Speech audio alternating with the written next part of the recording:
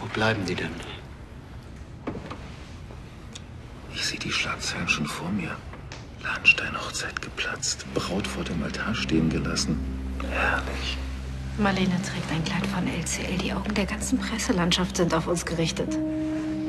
Wenn Tristan das versaut, gibt's Tote.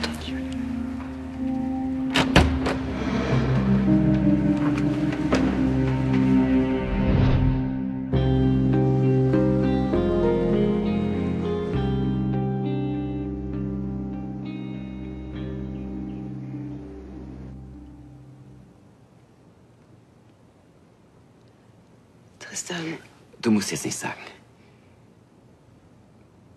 Gib mir die Antwort einfach morgen vom Altar.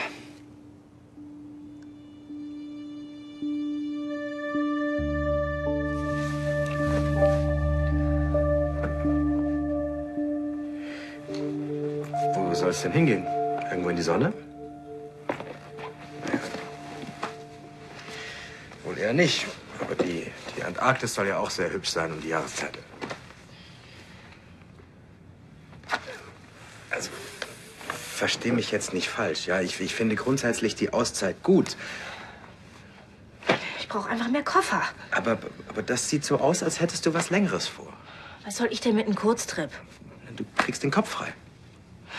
Und dann komme ich wieder zurück und laufe wieder Marlene über den Weg. Ich will nicht, dass alles wieder von vorne losgeht. Du meinst es wirklich ernst? Du willst so richtig weg. Sie heiratet morgen meinen Bruder. Was soll ich machen? Ich halte es einfach nicht mehr aus.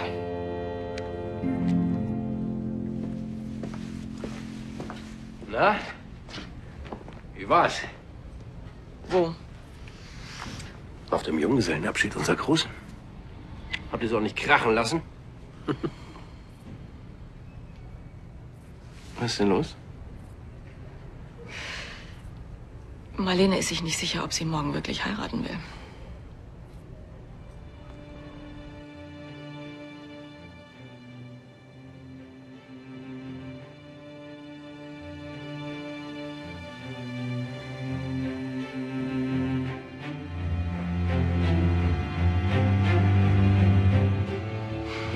Bewusstlos?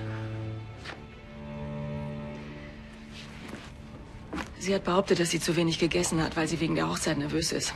Sie war völlig durch den Wind und hat die ganze Hochzeit in Frage gestellt. Oh. Und als wir zum Feiern im No Limits waren, da war sie die ganze Zeit über nicht richtig fröhlich. Kalte Füße? Oder steckt da mehr dahinter? Ich glaube, sie liebt Tristan nicht. Jedenfalls nicht so. Sondern? Rebecca. Fällt dir ja früh ein. Na toll. Das darf doch nicht wahr sein. Entschuldige, Vicky. Ich weiß, es ist jetzt nicht der richtige Zeitpunkt zum, zum Klugscheißen. Was machen wir denn jetzt? Marlene will mit Tristan reden. Aber sie hat gesagt, dass sie mich sofort danach anruft. Und ich mache mir langsam wirklich Sorgen, weil sie schon vor über zwei Stunden losgefahren ist. Dann ruf sie doch noch mal an.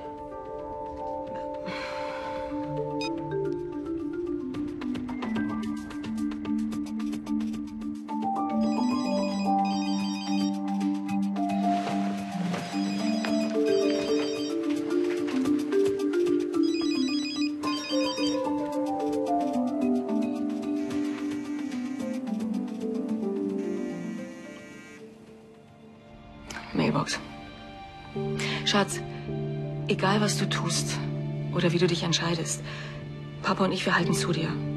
Wir wollen, dass du das weißt.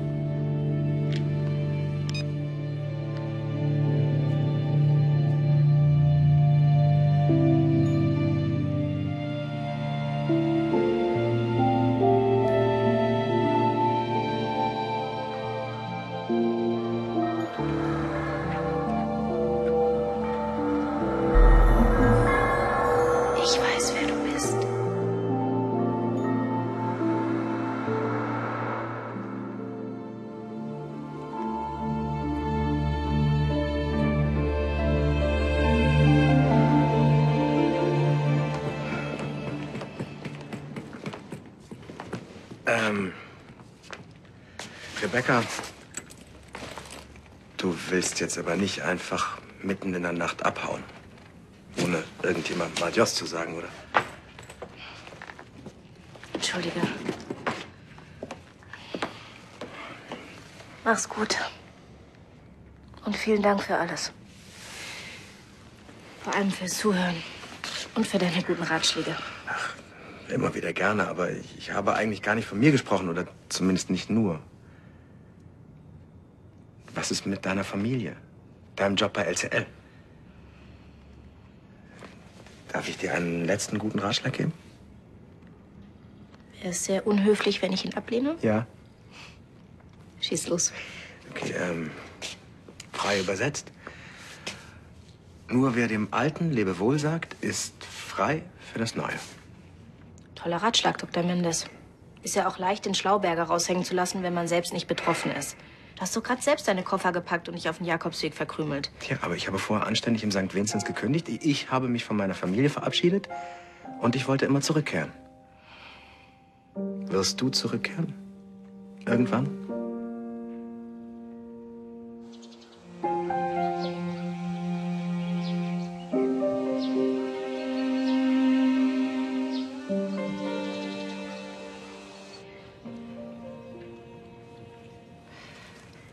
Marlene, du glaubst nicht, was Dana gestern noch am Pool gebracht hat. Das interessiert Marlene bestimmt überhaupt nicht. War eine schöne Idee mit dem gemeinsamen Frühstück. Ja.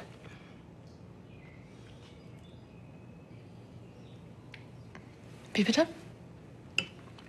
Hast du immer noch Kreislaufprobleme? oder? Quatsch, sie ist wahrscheinlich nur aufgeregt, oder? Schau mal, Marlene. Die sind gerade für dich abgegeben worden. Sind die nicht wunderschön? Wow, danke. Cool, von wem sind die dann? Äh, eine Sekunde. Alles Gute zur Hochzeit, Ihre Glanz- und Gloria-Redaktion.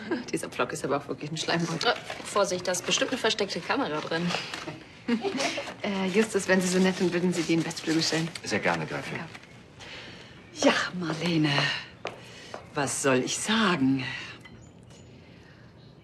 Willkommen in der Familie Landstein. Du meinst wahrscheinlich willkommen zurück. Unter anderen Voraussetzungen. Am Anfang war das ja etwas holprig mit uns, nicht wahr? Aber jetzt machen wir unsere Sache ganz gut, oder? Tja, was äh, lange währt, wird endlich gut. Komm her. Ja, ich bedauere nur, dass Ludwig in Peking unabkömmlich ist. Er wäre sicher gerne bei der Hochzeit dabei. Das finde ich auch wirklich sehr schade. Ja, wir haben alle noch zu tun. Guten Morgen. Ich habe noch etwas Dringendes zu erledigen, aber wir sehen uns gleich in der Kirche. Tja, ich bin dann die, die vor dem Altar auf dich wartet. Bis später Abend.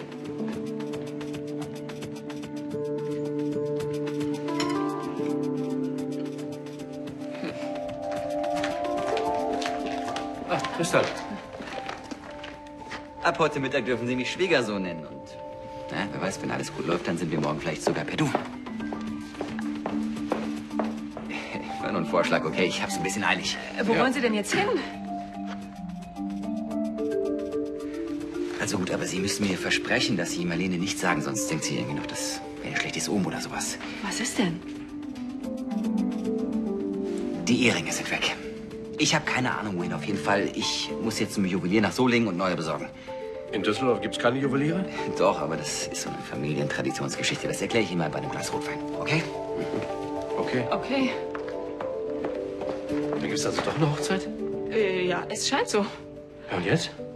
Ja, jetzt holst du deinen Anzug aus der Reinigung. Und ich werde mal hören, wie es Marlene geht. Gut. Aber wenn es irgendwie noch Probleme gibt, dann rufst du mich an, ja? Versprochen.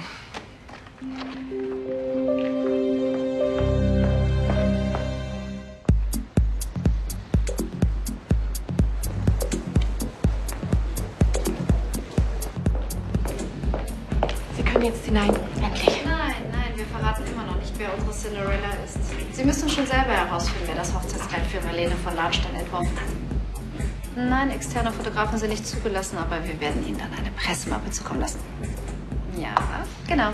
Wiederhören. Cinderella, was kann ich für dich tun? Nichts mehr. Ich habe keine Zeit für Rätselraten. Sag doch einfach kurz und deutlich, was du willst. Ich will kündigen. Wenn das ein Witz ist, dann wo genau ist die Pointe? Hier ist sie. Ich verlasse Düsseldorf. Oh, bitte, das ist nicht Cinderella. Das ist jetzt irgendwie eher der sterbende Schwan. Ich ertrage es nicht, dass meine große Liebe jetzt doch nicht lesbisch ist und mein Bruder heiratet. Rebecca, sei mal ein bisschen professioneller. Denk an deine Karriere. Ich habe dich gerade zur Chefdesignerin gemacht. Ich bin nicht hier, um das auszudiskutieren, sondern um dir Bescheid zu sagen.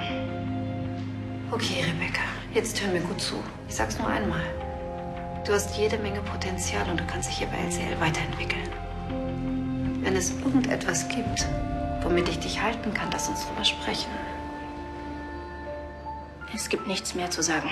Danke trotzdem. Ist das dein letztes Wort? Dann hör mal zu, Schätzchen. Ich werde dafür sorgen, dass die Rechtsabteilung dir eine Konventionalstrafe aufbrummt, von der du dich nicht mehr erholst. Tu, was du nicht lassen kannst. Und noch etwas, Rebecca, nur für den Fall, dass du dir nächste Woche, nächsten Monat oder nächstes Jahr überlegst, wiederzukommen. Wenn du jetzt gehst, dann brauchst du nie mehr wiederzukommen. Das war's dann.